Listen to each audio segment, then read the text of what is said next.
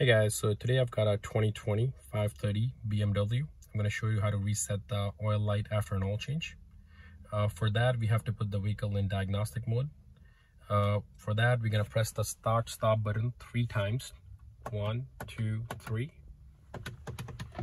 And you can see all those lights came on. Then this BC button right over here, we're going to press and hold it down.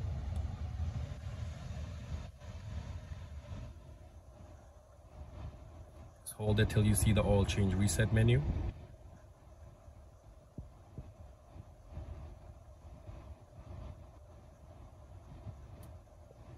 Alright, so once you say reset possible, same button, let it go, and then press and hold.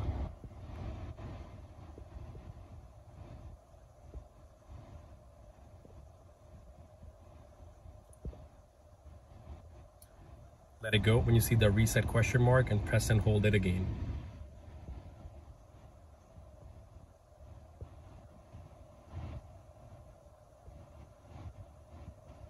It takes a couple of seconds and once you see this display, this means the light's been reset.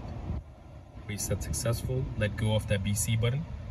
You can scroll by pressing the BC button to see if anything else needs to be serviced. If not, then just turn the ignition back off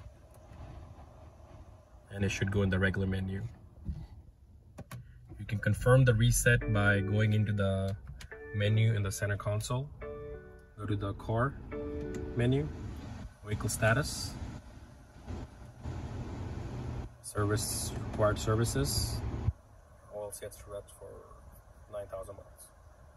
Alright, thank you for watching this video. Please like and subscribe.